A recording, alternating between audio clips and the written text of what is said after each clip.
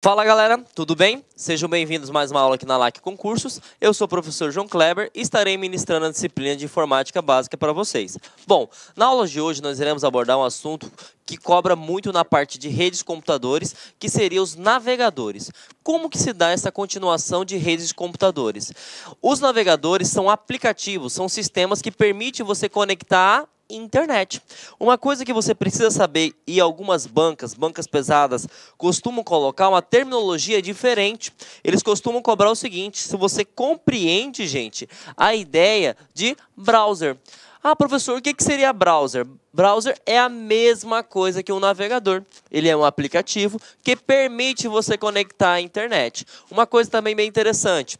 Bom, não é porque esse aplicativo ele te permite conectar à internet que ele funciona somente para a internet. Pode ocasionar, por exemplo, se você trabalha numa intranet, que nós aprendemos na, na aula anterior, que seria uma rede de acesso restrito local, o navegador ser uma ferramenta para você acessar um sistema interno. Então, logicamente que por padrão ele é para navegar na internet, mas ele pode funcionar dentro de uma intranet como um sistema, tudo bem?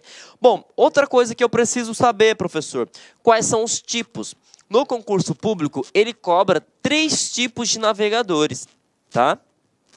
Aí eu preciso saber a especificidade de cada um? Não. Mas você precisa saber, gente, quem são esses tipos. Os três que mais são cobrados para concurso público é o Mozilla Firefox, é o Internet Explorer e Google Chrome. Esses três você precisa aprender os nomes. Lembrando, ah, eu tenho que decorar? Não. Decorar você esquece. Aprender você vai saber para o resto da sua vida. Bom, tem uma coisa que nós temos que levar em consideração quando se trata sobre Internet Explorer, é que é o seguinte, o Internet Explorer até o Windows 8, ele era padrão. Agora, o Internet Explorer, na versão mais atual do sistema operacional Windows, que é o Windows 10, ele mudou a sua nomenclatura. Agora não se chama mais Internet Explorer, ele se chama o Microsoft Edge. Então, vamos lá novamente. Tem três tipos de navegadores que cobram em concurso público, tá? Se ele cobrar, por exemplo, a versão mais atual do Windows, né, que nós, é, seria a versão Windows 10, ele pode perguntar qual é o navegador padrão. E aí pode ter a palavra padrão ou nativo. Se ele falar que é o Windows 10, o navegador padrão, gente, é o Microsoft Edge. Tá? Agora, se ele perguntar o seguinte, como costuma perguntar, qual é o navegador padrão do Windows 7? Aí você vai marcar Internet Explorer. Uma coisa também muito importante, tanto o Internet Explorer quanto o Microsoft Edge, eles são nativos, ele é da própria Microsoft. Já aconteceu em concursos anteriores que eles citam o seguinte: por ser é, o sistema operacional Windows, não é permitido instalar, por exemplo, o Mozilla Firefox de forma paralela. Então imagine só, ele fala o seguinte, que se você tem o Internet Explorer instalado nessa máquina, eu não posso instalar outro sistema operacional, eu tenho que desinstalar esse para instalar. E isso é mentira, porque você pode instalar, desinstalar, pode utilizar os dois né, ao mesmo tempo, de forma simultânea, e isso não interfere em nada. Então, Claro que ele já vem instalado, mas eu posso instalar outro? Pode. E os dois podem trabalhar de forma conjunta? Pode sim também. Então, sabemos aí algo sobre os tipos. Né? Se ele perguntar sobre a evolução, você tem que lembrar que é Internet Explorer. E se perguntar qual que é a evolução, é o Edge. Uma coisa que eles costumam fazer, e isso é uma pegadinha, e vocês viram já na aula de manipulação de informações através do sistema operacional Windows, é que ele pode tentar confundir a sua cabeça. Porque nós temos duas coisas. Nós temos o Windows Explorer e nós temos o Internet Explorer. Professor, qual que é a diferença? As palavras são muitas, muito parecidas, são muito semelhantes. O Windows Explorer, gente, ele é o gerenciador de pastas e arquivo do Windows. E o Internet Explorer é o aplicativo que permite você conectar à internet. Então vejam só, se ele colocar lá, é considerado o Windows Explorer como navegador, você vai marcar marcar falso. Vejam que caiu na questão do ano de 2018, lá na Câmara de Salvador, né? E a banca que realizou isso foi o FGV, para o cargo de assistente, e ele pergunta a seguinte coisa, tá? Bom, considere os seguintes aplicativos. Google Chrome, ele é um navegador, Firefox, ele é um navegador, Internet Explorer, ele é um navegador e Windows Explorer. Bom, eu já sei que ele não é um navegador. E vamos verificar qual que é a questão que ele cobra. Da lista acima, são destinados à navegação na internet somente os aplicativos. Bom, você já vai eliminar de cara todas as assertivas que tiver a opção 4. Porque o Windows Explorer, gente, nós sabemos que ele não é um navegador para a internet. Ele é um, aplicativo que permite gerenciar arquivos e pastas. Então, Vamos lá, 1 e 2 é? Sim, só que o 3 também é um navegador, então você pode eliminar. 1 é, 2 é, 3 é, opa, até então, achamos nosso gabarito, mas vamos verificar o restante. O 4 não é, o 4 não é, o 4 não é. Essa questão você poderia muito bem utilizar a técnica de probabilidade e erro, porque todas que tiver assertiva 4, nós sabemos que está errado. Então, logicamente que você saberia que ficaria entre a resposta da alternativa A e a resposta da alternativa B. Então, pergunta muito interessante que aconteceu neste ano de 2018, né? que é, massifica o nosso conhecimento quando ele fala sobre tipos, tá? Bom, o próximo assunto que ele pode cobrar para vocês é a questão do funcionamento na internet. E aí você precisa entender algumas coisas. Bom, quando você trabalha na internet, gente, você tem essa nomenclatura. Por exemplo, esse é o site da LAC Concursos. E ele pode te perguntar, gente, alguma parte da URL, tá? O que significa URL? URL é o endereço. É o endereço, né, que nós chamamos de domínio na internet. Por exemplo, você na sua casa, você tem um endereço que é o seu CEP, que é a sua localização, né, em um, num estado, em um país, numa cidade. Quando você trabalha no mundo virtual, quando você trabalha na internet, você também tem um endereço, endereço de domínio. Então, por exemplo, lacconcursos.com.br é o endereço na web. E o que, que eu preciso saber? A primeira coisa, ele te identifica qual é o protocolo que você está utilizando para navegação na internet. Na aula passada, na aula 3 de redes de computadores, nós vimos que quando se trata sobre navegação na internet, eu posso utilizar dois, né, dois protocolos. Qual que é a diferença que existe de um para o outro? Se você está utilizando HTTPS, você sabe que está seguro. Por quê? Porque existe um certificado digital, existe uma terceira parte que está é, trabalhando com a autenticidade desse site. E normalmente, quando ele é seguro, é porque ele está criptografado. Tá? É como se fosse cripto. Opa, assassinando o português aqui, gente. criptografado. Como se fosse um selo de segurança, tá? Que permite criar né, uma identidade. Bom, mas eu poderia também está escrito assim, http dois ponto, barra, barra. Qual que é a diferença? Este não é seguro, este não possui certificado digital e este possui certificado digital. Bom, depois do barra barra existe a nomenclatura www. O que significa www? Significa que você está na internet, World Wide, Wide Web. Então, rede de alcance mundial. Então, toda vez que tiver essa nomenclatura, significa que você está na internet. Outra coisa importante, depois da pontuação da separação, vem o nome do domínio, tá? Então a identificação na web da LAC Concursos é LAC Concursos. Uma coisa que nós temos que levar em consideração, tá, gente? Não é porque a empresa se chama LAC Concursos que o seu domínio obrigatoriamente tem que ser LAC Concursos. Porque eu, ou assim como vocês que estão assistindo agora, podem ir lá no, no, no, no site, né, no, órgão chamado Registro BR, que é a entidade que regulariza os nomes de domínios no Brasil, e cadastrar, por exemplo. Uma vez que ninguém ah, é, pegou esse nome para si, você pode cadastrar. Por exemplo, se você pegar o site do Banco do Brasil, não é bancodobrasil.com.br, é simplesmente BB. Né? Então, nem sempre tá, o endereço na, na, na, internet, o endereço na web é o mesmo nome da empresa. E aí, o que, que eu preciso saber? Depois que eu tenho o nome do domínio, eu tenho o tipo de domínio. Tá? Por exemplo, se está .com, significa que esse domínio tem o objetivo comercial, tá bom? E nós vamos, em um próximo slide, definir os que mais se existem, os que mais se cobram, tá? É, ponto .br, gente. Ponto .br vem da parte de nacionalidade.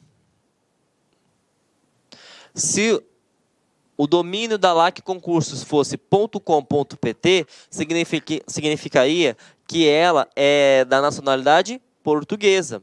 Então, se ela tivesse a ponto .nz da Nova Zelândia, então isso seria a definição. Se não tem nada depois do ponto .com, significa que ela é internacional. Tudo bem? Então, essa é a nomenclatura que você precisa saber. Esse seria o funcionamento de um site, né, de um domínio na internet. Primeiro eu tenho o protocolo de navegação que eu estou utilizando, se é seguro, se não é. Depois eu falo se está na internet, que é o caso da Like Concursos, o nome do domínio, eu falo que ela é comercial e a sua respectiva nacionalidade.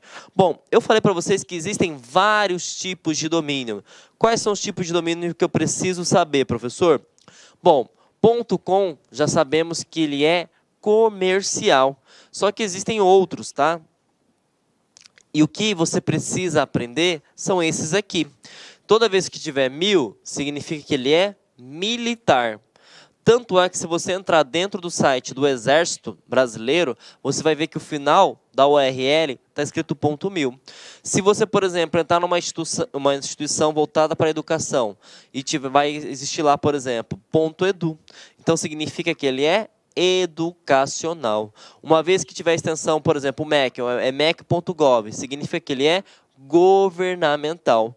Se ele tiver, aqui não é edu, desconsiderem edu, aqui seria org, tá? Org significa o quê? Organizacional, tudo bem? Então esses são os tipos de domínio. Não é obrigatório ser todos comercial, podem existir vários outros tipos de domínio, tudo bem? Dicas. Inclusive, eu dei uma, uma analisada, o CESP cobrou, salvo engano, em dois tipos de, de carreiras. Carreira administrativa, salvo engano, e carreiras policiais. Ele cobrou o uso da tecla CTRL quando você está utilizando um navegador. E aí preste atenção. Normalmente quando você está trabalhando numa empresa, nós tentamos eliminar o máximo possível de mouse, sempre trabalhar com teclado. Então imagine que você está entrando no site da LAC Concursos. Você digitou www.lacconcursos.com.br. E aí para você dar o sim, né? Na, lá na URL, você pega o mouse e clica lá para abrir, né, para avançar. Ou você pode dar um, simplesmente um Ctrl, tá? Enter. Assim que você estiver digitando. Quando você dá um Ctrl Enter, ele vai redirecionar para a página que você quer. Então você digitou a URL, tá? Não sei o que é URL, endereço.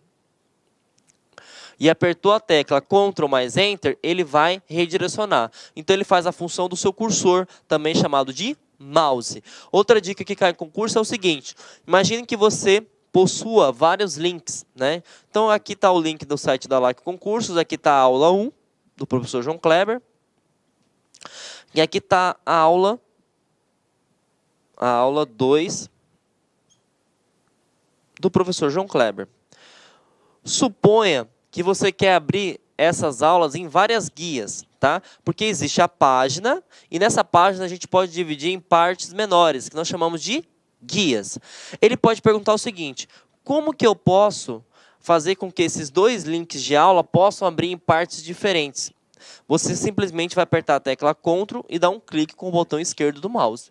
Então você clicou com CTRL, clicou na aula 2, segurado a tecla CTRL e clicou na aula 1, o que, que vai acontecer? Vai abrir uma nova guia, a aula 1 do professor João Kleber, e vai abrir uma nova guia, a aula 2 do professor João Kleber. Então vejam que essas duas dicas aqui estão caindo em concurso. A funcionalidade da tecla de atalho Ctrl. Então, Ctrl mais Enter, ele vai redirecionar para a URL. E Ctrl mais clique do mouse, ele permite abrir uma nova guia. Tudo bem? Bom, gente, agora nós iremos abordar um assunto muito interessante que eles estão cobrando no ano de 2017 e no ano de 2018. Para que você entenda sobre isso, eu vou voltar um pouquinho lá na aula 3, na aula de redes de computadores. Você aprendeu o seguinte, quando eu trabalho com transferência de arquivos, né, quando eu envio um arquivo, por exemplo, do meu computador para a internet, eu estou fazendo um upload. Quando eu pego um arquivo da internet baixo para o meu computador, eu estou fazendo um download. Aonde que eu quero chegar? Se eu estou baixando um arquivo na internet, certo? Eu vou trazer para o meu computador e ele vai para uma pasta. Que pasta será essa? Pasta chamada de download. Bom, ele pode perguntar isso? Pode. Só que ele pode avançar ainda mais. Ele pode te perguntar, gente, o seguinte: sabendo que a pasta é download, aonde fica armazenado todos os arquivos que você baixa através do seu navegador, por exemplo, o Google Chrome. Ele pode perguntar: supondo que você queira encontrar dentro do seu computador, qual é o caminho que eu consigo encontrar esses arquivos, né? E aí você precisa voltar um pouquinho para a parte de hardware e lembrar de uma coisa: se eu salvei esse arquivo, eu salvei ele aonde? Dentro do HD. E o HD é simbolizado pelo sistema operacional, gente, através de letras. Normalmente, a letra que inicia o HD é a letra C, dois pontos, barra, barra. Perdão, barra. Bom, sei que está no meu HD. Só que aí você tem que pensar o seguinte: um computador ele pode possuir vários usuários. Por exemplo, aqui na LAC nós temos vários usuários. Nós temos usuários para estagiários, usuários para técnicos, usuários para supervisores, usuários para professores, para direção e assim vai. Então, cada tipo de usuário ele tem os seus documentos. Então, eu não posso criar uma pasta download e compartilhar para todo mundo. Então, o caminho vai ser o seguinte, ó. Eu estou dentro do meu HD, o arquivo está dentro do meu HD, só que ele está dentro de uma pasta que é chamado de users, que se você pegar a tradução literal significa usuários, e aí eu tenho que especificar qual é o usuário que eu quero. Por exemplo, se está no usuário do professor João, vamos supor que o meu nome do usuário seja João. Bom, já encontrei o arquivo? Não, porque sabemos que quando você baixa na internet, ele fica armazenado dentro de uma pasta. Pasta essa que é chamada de downloads. Então veja só, na brincadeira a gente aprendeu, né, aonde, qual é o caminho correto, tá? Aonde ficam os arquivos armazenados no seu computador. Primeiro identifico o meu HD, que normalmente ele é simbolizado por uma letra, dois pontos barra. Depois eu informo que existe usuários. Eu tenho que especificar qual que é o usuário que eu quero e logicamente uma vez que eu especifiquei, especifiquei qual usuário que eu quero, eu tenho a pasta que eu quero verificar quais arquivos que eu baixei, que seria a pasta downloads. Bom, ele pode perguntar dessa forma, ele pode perguntar qual é o caminho e outra, ele pode perguntar qual é a tecla de atalho, tá? Qual é a tecla de atalho? Ctrl J. E isso é específico? Não, é para todos os navegadores. Então, uma vez que você utiliza a tecla Ctrl J para qualquer navegador, ele vai abrir esse caminho aqui para você, c dois ponto, barra user barra joão barra download, tudo bem? Então vejam só, ele pode perguntar onde é armazenado o arquivo, qual é o local que é armazenado esse arquivo e qual é a tecla de atalho. Então só no assunto download, olha o tanto de vertente que você pode ter no seu concurso público. Tá? Para massificar seu conhecimento, gente, vamos responder essa questãozinha aqui de 2018, lá do Detran do Maranhão, para o cargo de assistente.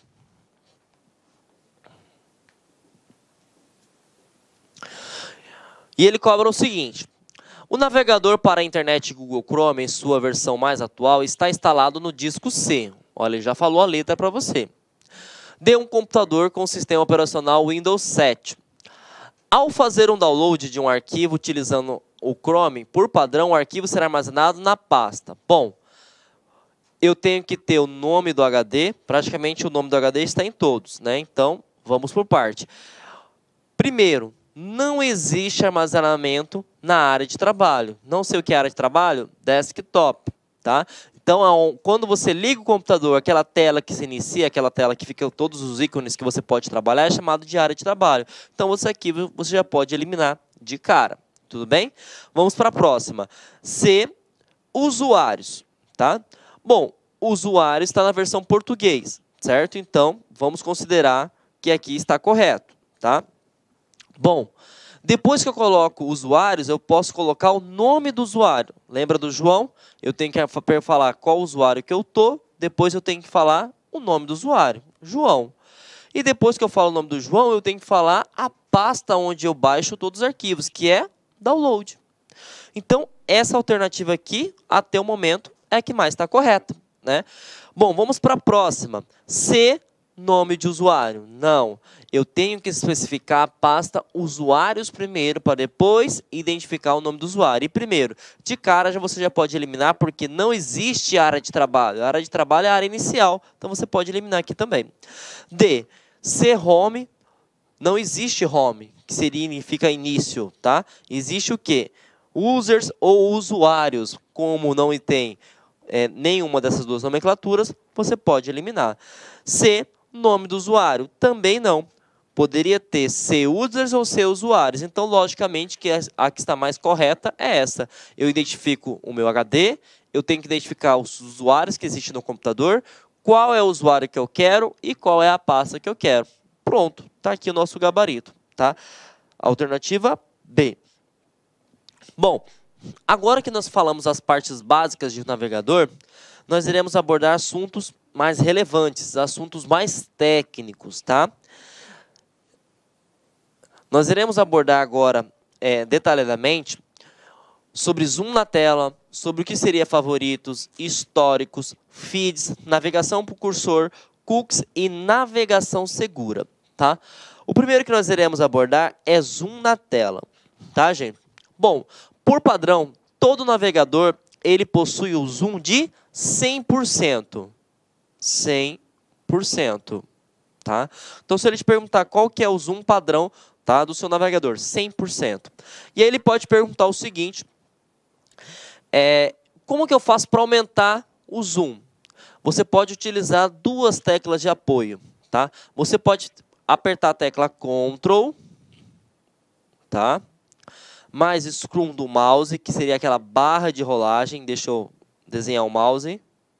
Aquela barra de rolagem que fica no meio do botão esquerdo e do botão direito. É chamado de scroll lock, que permite você, é chamado de barra de rolagem, ela pode rolar para cima para baixo, você vai aumentar ou diminuir. Ou você pode utilizar isso aqui, ó, Ctrl mais. Ele permite aumentar e se você apertar a tecla Ctrl mais menos, permite diminuir. Então veja só, eu posso utilizar dois tipos de recursos, somente teclado Ctrl mais, ou se eu quero diminuir Ctrl menos, ou eu posso utilizar a tecla de atalho, né, utilizando mouse e teclado, Ctrl scroll do mouse para aumentar, Ctrl scroll do mouse para diminuir. Tudo bem? Então, vejam que ele pode cobrar isso. E aí ele pode falar o seguinte, supondo que você esteja com 150%, 150% de exibição de zoom na tela e você quer voltar para o padrão que seria 100%. Qual é a tecla rápido, a tecla rápido, que você permite voltar instantaneamente? Né? Porque se eu apertar menos, vai voltar para 125, depois vai sair para 100. Então não vai ser é, é, muito rápido, né? vai ter que ter duas divisões até eu chegar ao nível padrão que eu quero. Então se eu aperto Ctrl 0, tá? Ctrl 0, você volta para o padrão. Significa que não vai ser nem aplicado nenhum zoom, nem para maior, nem para menor. Tá? Então, Ctrl 0 permite voltar ao padrão. Bom, aprendemos sobre a questão de zoom, né? que também cobra-se a questão de aumentar o zoom ou diminuir o zoom, seja por teclas de atalho ou utilizando o cursor. Ele pode perguntar também, gente, sobre central de favoritos. Tá? O que é central de favoritos? Central de favoritos nada mais é do que você pegar uma URL, por exemplo, da LAC Concursos, e salvar no seu computador. Então, uma vez que você salvou a primeira vez, vai aparecer uma estrelinha, né? na qual, por exemplo, em vez de você ter que digitar www.lacconcursos.com.br, você clica nessa, estrelinha, na qual vai aparecer todos os sites é, favoritos seus, preferidos. E aí você simplesmente clica no link e ele vai te redirecionar. Então, você não tem um retrabalho de todo momento que você entrar na URL ter que digitar. Essa que é a funcionalidade da central de favoritos. E aí ele pode cobrar o que seria favoritos, né? Que seria você criar uma preferência. E é outra coisa que ele pode cobrar é o seguinte: favoritos, cada usuário tem o seu. Mas imagine que você deu um problema na sua máquina, né? e você trabalha com várias pesquisas. Vamos supor que você tem que fazer pesquisas de sites, pesquisas de viagens. E você não vai lembrar de todos os sites, porque simplesmente ficava armazenada a palavra, você clicava nela e redirecionava para o site. Então ele pode perguntar o seguinte: eu posso salvar essa lista de favoritos? Sim. E eu posso, por exemplo, pegar essa lista de favoritos e mandar para outro computador? Sim. Mas no outro computador, por exemplo, eu estava utilizando o Internet Explorer. Só que no outro computador que eu vou utilizar agora, não existe mais o Internet Explorer. Por exemplo, eu, tenho, estou trabalhando agora com o Google Chrome ou Mozilla. Eu posso trabalhar com a importação disso. Então vejam que legal. É, a lista de favoritos ele permite que você tire o retrabalho. E uma vez que você fez toda aquela lista, demorou um determinado tempo, você pode transferir para outro local, certo? Então ele pode cobrar esse conceito de você. Olá, meus amigos, é... minhas amigas. Inicialmente eu peço desculpas pois interrompi os seus estudos, mas essa playlist especial que a LAC Concursos fez especificamente para o concurso para o concurso da Banrisul 2022. Nessa playlist nós vamos colocar 200 videoaulas do nosso curso. Só que o nosso curso tem mais de 200 aulas, isso garanto para você. Gente, essas aulas são demonstrativas, é para você ter conhecimento da qualidade e a seriedade que nós trabalhamos aqui a questão de concurso público. Você quer fazer, você quer assistir o restante dessa videoaula? Você quer fazer o nosso curso completaço, cara, ponta a ponta do edital? Papo reto para vocês, um investimento apenas 10 parcelinhas de 200 reais, é isso mesmo. 10 parcelinhas de 200 reais, você vai assistir na nossa plataforma, você vai ter direito, olha só, o personal coach. O que, que é o personal coach? É o estudo em regime de metas. Ali nós iremos organizar toda a sua vida no site, a gente vai fazer um painel de controle é, de, de, de, de tipo amarelo, vermelho, verde, verde porque você cumpriu a meta, vermelho porque você está devendo e amarelo